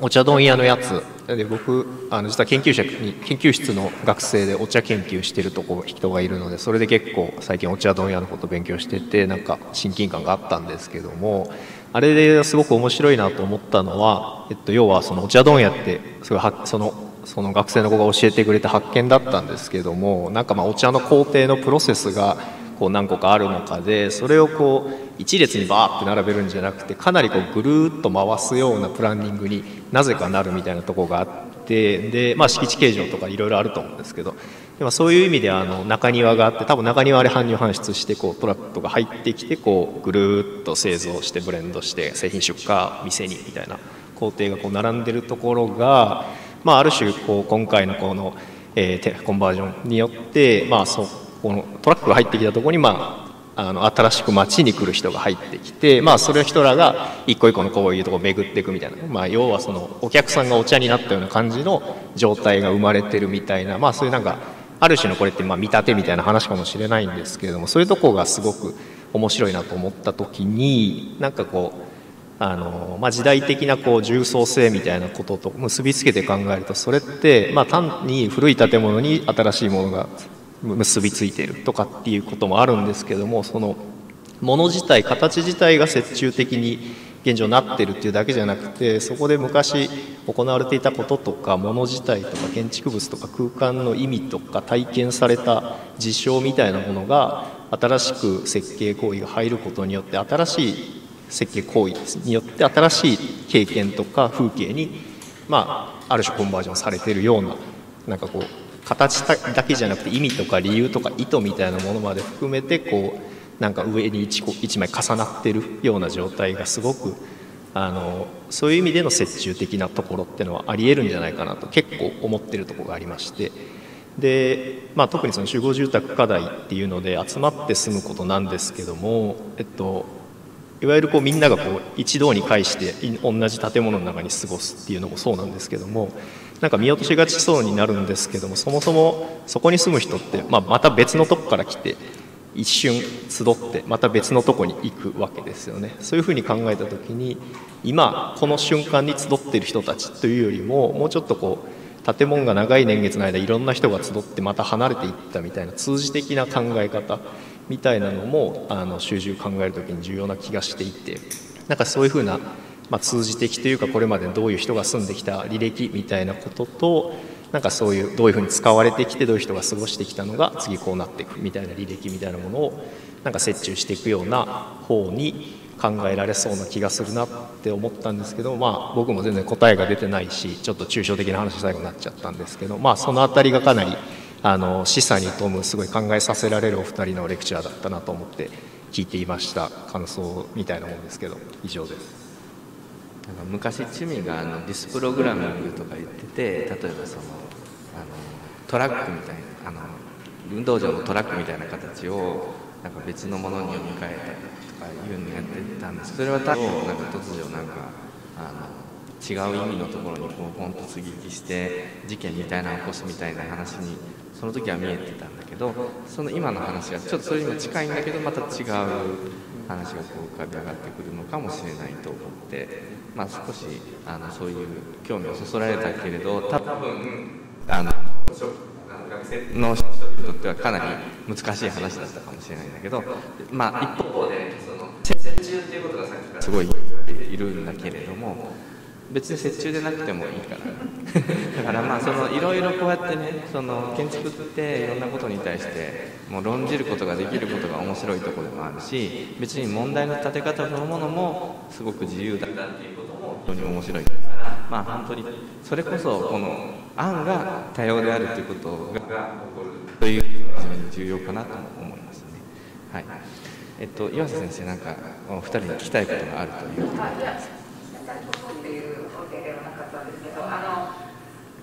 ちょっとそこも貫いてしまったので、ちょっとコメントすると、あの、私は、あの、朝子さんのレクチャーは多分、3回目ぐらい聞いていて、あの、今日、えっと、特に、あの、結構、あの、朝子さんのレクチャーの中で、プロジェクトとして結構、その科学的なものを普段プレゼンをしていることが多かったんですけど、今日、割とその、内部空間的な、その、ちょっとこう、えーと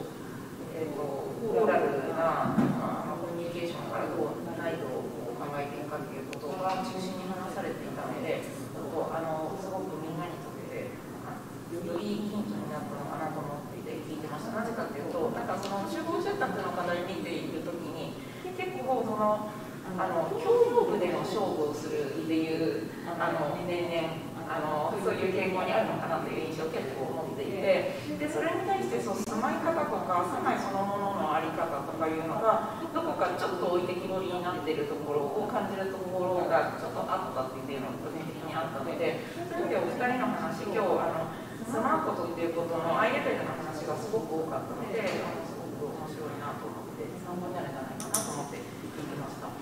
えーと、小林さんの話は私個人的にそのあのあ河合さんにより質問なのかもしれないですけど、あのすごくこう、アイレベルのお話と、まあ、海外とかとの接点も持ちながらアイレベルのお話だとか、コードヤードとかいうお話をされてたんですけど、結構その大きなお話とハイレベルな話はあったんですけど間の体感とかそのくらいのスケールの話が今回すごいなかったっていう印象を受けていてただなんか小林さんの作品を見てると、まあ、住宅規模からあのビルのスケールまで、まあ、新築が多く、まあ、リノベーションもあるんだと思うんですけどやられている中でなんかその外観の話をなんかされなかったのはなんか理由があるのかなと思ってそれはシンプルにあの聞いてみたいなと思ったことなんですけど。えっと、そうですね、あのちょっとスライド大量持ってきてあのめっちゃスキップしましたけど、えっと、その今ヨさんが聞いてくれたことがちょっと関係していて、えっと、割とそのなんか同窓性みたいなことを考えてるんですね。でその大きいその都市的な、まあえっと、マクロな視点で見た時と非常にミクロな状態がまあ、同じようなこうモーダリティを持ってるっていう感じででそれは結構こうシームレスにつながってるっていうかだからその中間の建築のまあ外観レベルっていうのも割とそういうまあえっとなのであのそのまあ一個一個の建物のフィニッシュ最後のそのフィニッシュは、えっと、割と個人的なもんかなと思ってるんですね。あのえっとまあそれはえっとなんていうか自分の問題？自分でまあえっと僕よくあの見に来た人がなんか河合君意外とディテールがちゃんとしてるねとかなんか意外と収まってるねとか言われるんだけど、まあ、それは、えっと、僕は自分の問題としてあのきちんと収まっているようにしたいなというふうに思っていだけど、まあ、それはあのあんまりこう共有することでもないかなと。あるいはそのフォルムの問題にしてもそれって割と自分の問題でと自分がえー、なんていうかなあれなんだけどその形式性その外観の中でもえっ、とまあ、えー、セットバックがな例えばなくてで多項質な形になってる。っていうふうなところっていうのは、えっと、みんなで共有してそうするとその結局まあ門内先生の類類似と差異じゃないけど、えっと、共共通する部分っていうのはその形式性の中にあってでただその、えっと、差異の部分つまり多様な、えっと、やっぱりみんな顔が違う人が集まってるから景色が綺麗っていうふうに、まあ、建築がそれぞれ個性を持ってでも集まった時にある種の統一感があるっていうのが都市景観としては美しいと思うんだけど、まあ、それそういうふうにその、まあ、個人に属するような部分とその、えっと、みんなが共有するべき部分っていうのが、えっと、あるというふうにまあ思っているからっていうのはありますね。あのそういうところはちょっとあります。まあ、あのもちろんそのその間の部分の話も別に全然できるんですけど今日はそのどっちかっていうと,、えー、とそのまあ、多項質なあり方の、えー、とミクロの側とマクロの側を、えー、とこうなんていうかつながってるっていうことを話せればなっていうのでそういう感じを持ってきたんですけど、はいまあ、今の説明だだと例えば河合さんとかなりみたいな立場のように今聞こえてその辺にはまたちょっと話をして。少なくとも京都とかクエブラの話をするっていう時にはその割と外観っていうのが見にくいものですね。そう。その中規模で、あの割とこう密度は高いのに低層だから結局外観としての現れはあそうそうそう。割と定型化したその話はあってごめん。ちょっとだけあの遮って申し訳ないんですけど。そうそうそう。あのえっとねそれすごい考えたことがあってその京都のその京都のそのアイコニックな外観ってないんじゃないかって僕思ったんですよね。ある時ね、まあ、それは京都駅の、えっと、論争があった時に京都らしくないってすごく批判されたんだけどじゃあ京都らしい外観って何やねんって思ったんですねその時に。ねで多分それってないなと思ったんですよ。でどっちかっていうとそう今のヨさんの話につながるんだけどその時に、えっと、京都らしさっておそらくインターフェースみたいなものそこで感じられるこうなんていうかな当たりの違いみたいのがすごく京都性を持っていて、えっと、なんかこんな形してるから京都。じゃあ飛雲閣持ってきたら京都なのかって。それ違うよねって思ったんですよね。だからそのアイコンとしてのその外観がもうアウトラインがないじゃないですか。都市ってつながってるから。なのでえっとまあその屋根型を作れとかさそういう話になるけどでもそうじゃないんじゃないかなとそれはその時それから結構思っているところはあります。はい。でそこでなんか感性みたいなものだけが共有可能で個性っていうのはあのまあそれぞれに違うものだからあんまりそこのとこ主張してもしょうがないみたいに今ちょっと聞こえたかもしれないんですけど、ん。でも実はそういう規範性の中でその個的なものだけが何かとした共有可能性を与える可能性もああって。そうね。するとだからあの要するに個性的なものがそれぞれ違っているから好みだからっていうので全く自分と関係ない近づきがたいものと見えるかって言ったらまあそう、まあ、いろいろやっててだからこそなんか喋ったりするのが楽しいのと同じで何かそのことがむしむしろ共有可能性を作り出すっていう考え方もある。なと思ってでまあちょっとごめんなさい話がややこしい話になりがちなんだけど えっと山本先生なんかは例えばさっきのあの長屋長屋の、えー、とこのうなぎの寝床の住宅なんかあのいきなりスポーンとあのこっちにつまみを向けた切りつまがあったりとかしたじゃないですか。ああいうのってなんか割とだから京都の文脈ってどう捉えてるのかあの山本さんはどういうふうに考えられてますか？実はあの京都と違って。外観とかね。そうですね。京都大学で勉強してでフランスでちょっと勉強して、まあ、東京でも少し働いて、まあ、京都に戻ってきて仕事をする時に、まあ、京都のその、まあ、バックグラウンドがあることによって京都らしさみたいなものをあの追求しない道を取りうるのではないかと思って、まあ、仕事をあのししようと思っていたので、まあ、特に最初のうちはそういうこう表情みたいなのをあのあえての京都らしいみたいなことじゃない。でもこの町に合うものはあり得るのではないかというふうにあえてあのせしたいと思っていたところはあると思います。だからそれはオリジナルとかともちょっと違ってでも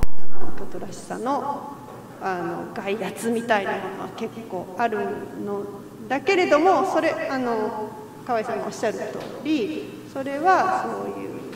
まあ、景観規制がやっぱり厳しいっていうこともあるんですけれども誰かがこうこうこういうものが京都らしいって具体的に言えるものではないだろうとは思っていたのでそれに対して今言った重層性じゃないですけどもっとモダンな形とかコンテンポラリーな形っていうものもあり得るだろうとは思ってやってきたんですがあの京都の持つで例えばあの家もあのこっち側だからこう窓を作りたかったりあのわざとあの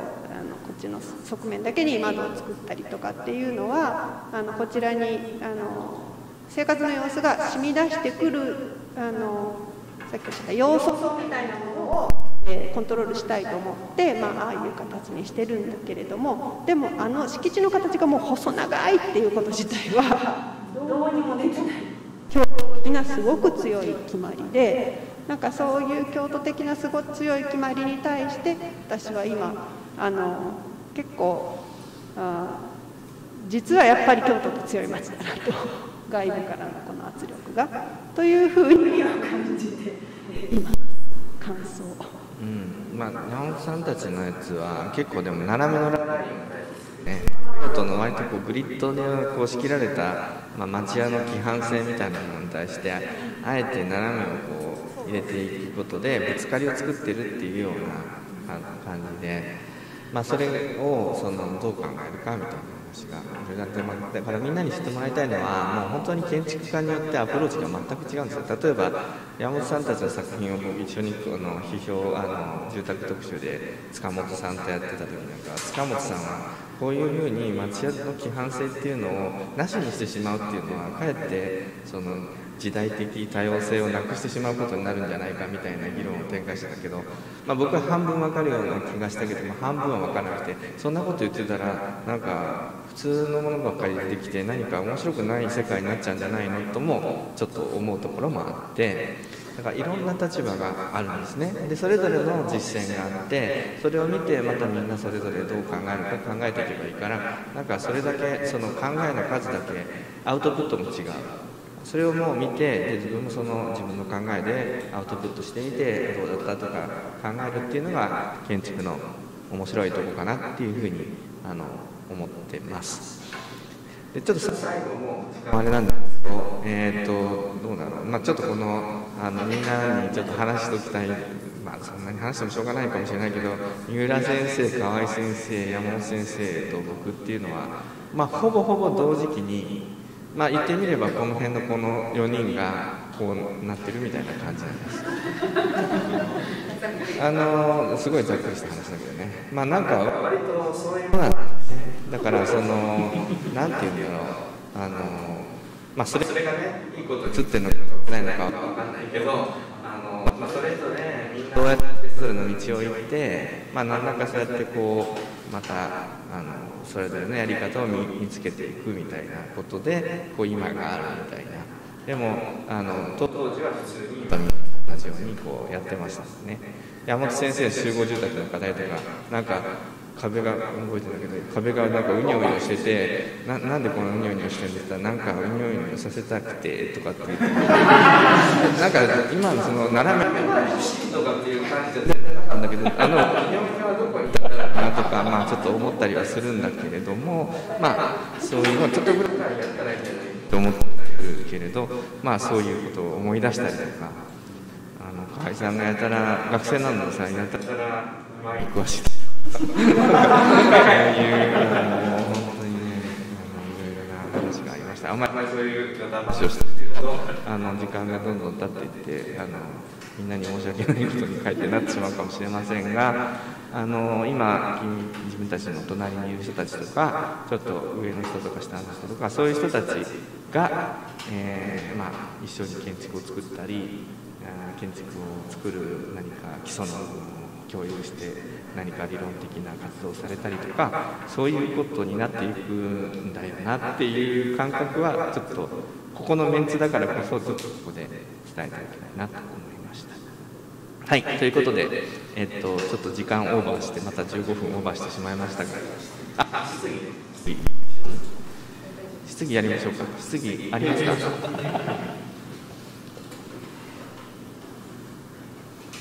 じゃあなんか話そうよじゃあ、うん、行きますか？いつもの指示語君行きますか？いや、まあ、別にここで発言するからなんかここに行きたくないから発言しないっていうパターンもあるから。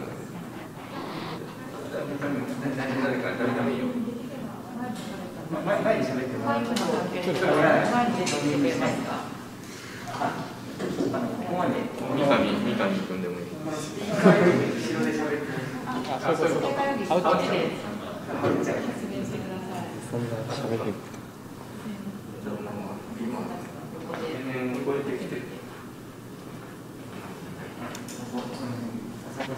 この辺からこの辺あ、四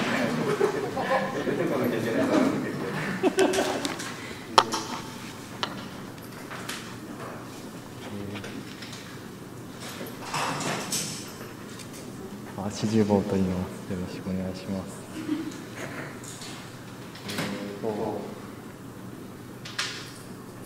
いや、そんなになんか 思いなかったんですけど、うん、なんだろう。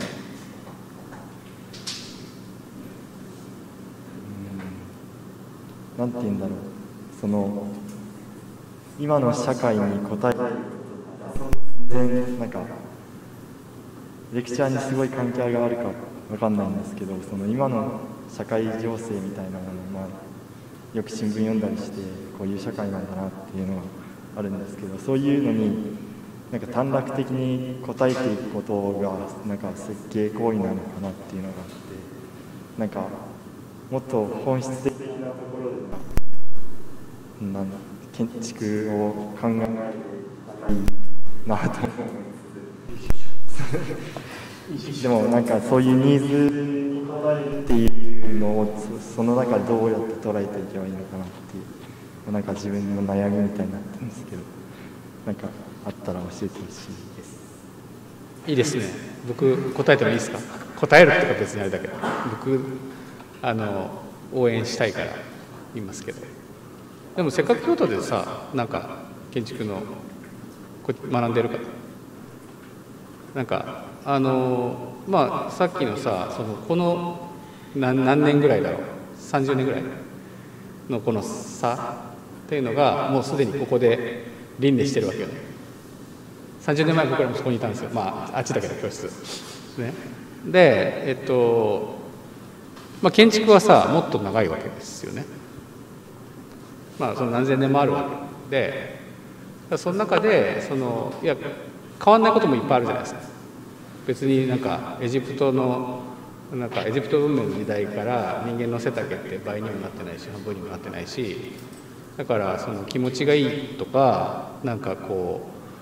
う厳粛な気持ちになるとかそういうその身体的なその建築のメディアとしての力っていうのは何も変わらんわけですよね。でそれにもうみんなずっとこう人生かけてこうやってきてるわけででもちろんその変わってることもたくさんありますよね。情報化してあの社会の在り方変わったりとか。でそれにその adapt することも必要だけどでもその変わらないこともたくさんあるしそれはなんかみんなそうやって悩んでるというかあのそれさっきちょっと岩瀬先生が言って自分の問題じゃないかって言ったんです例えば変わらない部分って割とこうなんていうかな共有できるというかまあでも自分でその自分の身体的なところに立ち戻ってやればみんなと共通のことが探せるじゃないですか。うん、だからそのそれはこうずっと考えられるしその別にこう今の社会情勢に適応するあの立たないと残んないからでもそのそういう価値を持ってないと、まあ、残んないから。なので、まあ、両方だと思うんですけど、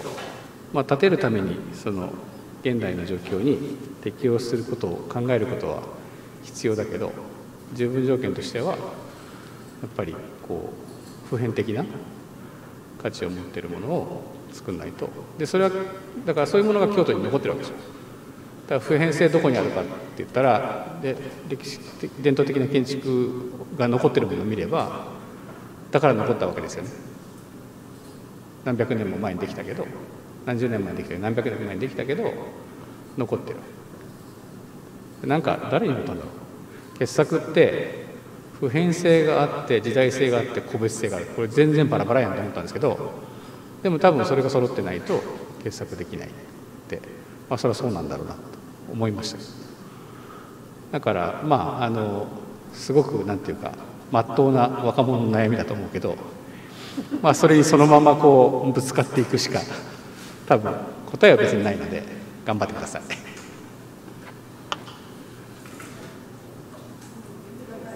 えまっとうでなんかその力をかけるべきポイントとしていやまあそれは全部全部全部はいわかりましたはい、あともう一人だけもう一人だけと言われた時に誰かいますか？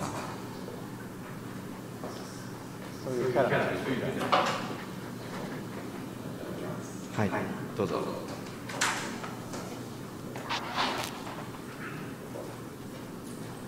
えっ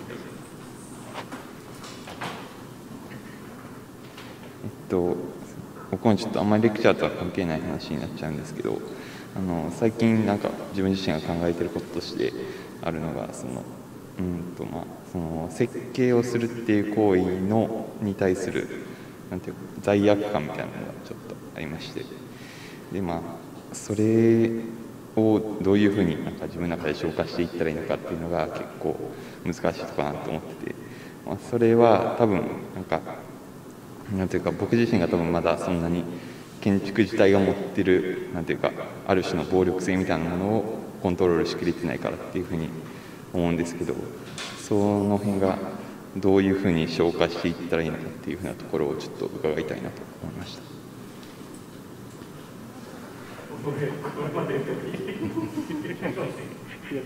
いやいや、あの山本先生がさっきから発言してないから、山本先生先にじゃあ。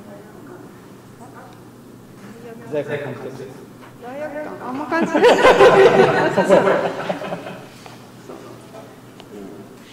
うんと私はデザインすることが結構全能感がある仕事だと思っているのかなと思うけどなんかそんなことは私は思っていなくて逆に私が、えー、設計者になりたいなと思ったのは、えー古来から必ずその空間が、えー人間には必要としていていろいろな形ででそれを作ろうと思ったら誰かがやっぱり、まあ、デザインという行為をしなきゃいけない。まあ、そういうあの根本的に必要な職能だというふうに思っていてでその上でそこに自分がいろいろな考えを込めたりでもその時にその相手が必要とすることを職能として実現したりっていうふうに私はそういう建築ってそういうものかなと思っているので罪悪感というふうには思わないですがどうでしょう？ロマンチックすぎると。ですかね。そんなに全感あーでも僕はねやっぱねその罪悪感を感じるっていうのはまっとうやと思いますよ。うん、でまあ実際あのあの、まあ、紙の上でやってるかね設計してる時は王様やからね「おお建てろ」っつって5メーターの壁建てろビーって101やったらさ5センチの壁ビューって立てたらさ5メーターの壁ダダダダって建てるわけその世界の中ではね。ちょっとちゃうな。やめとけ。潰せ。消しか消したらまたなくなってこっちや。ね。それはちょっとなんか民主的じゃない感じするやん。でえっとまあその罪悪感を感じるのは僕すごいまっとうやと思うんだけどあのそのやっぱり付き合い方っていうのはあの僕ねあのベジタリアンの人とかあんまり好きじゃないよね ななんかさそれってさあのなんか生き物を殺すのが嫌だからって言うねんけどそしたら今字幕で個人的な意見です。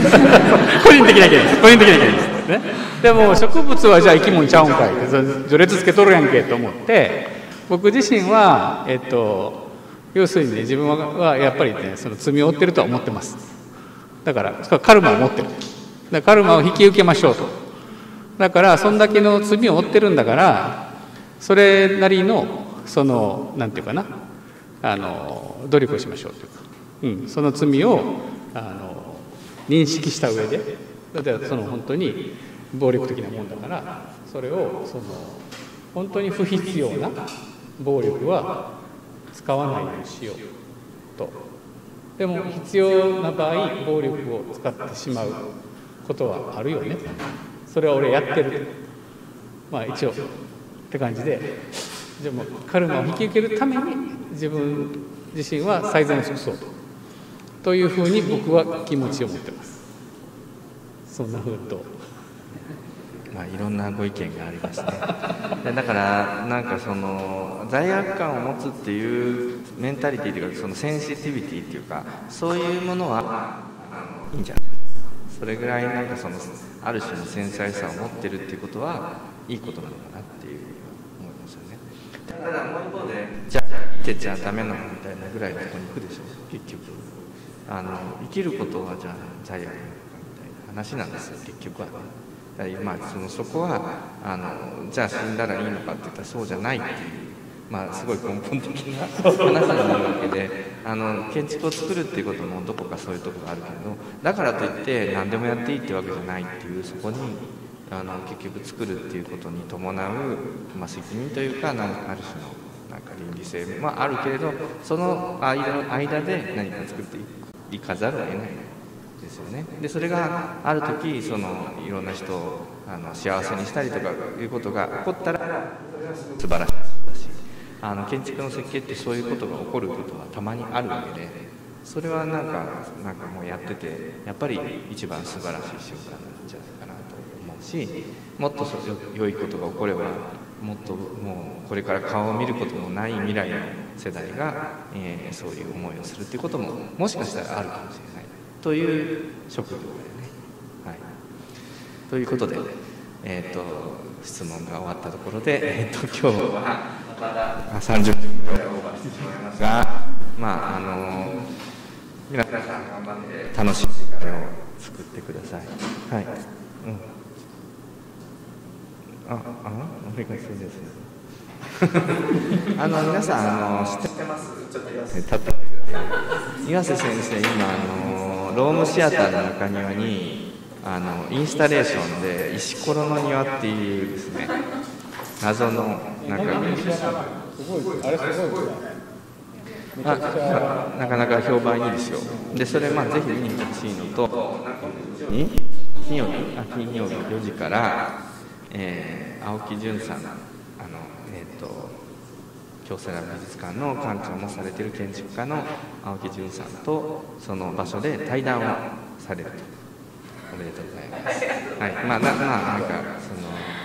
そういうこともあるみたいだからあの行ける人はぜひ興味ある人は行ってください。はい。はい、まあじゃあそういうことで、はい、皆さんお疲れ様でした。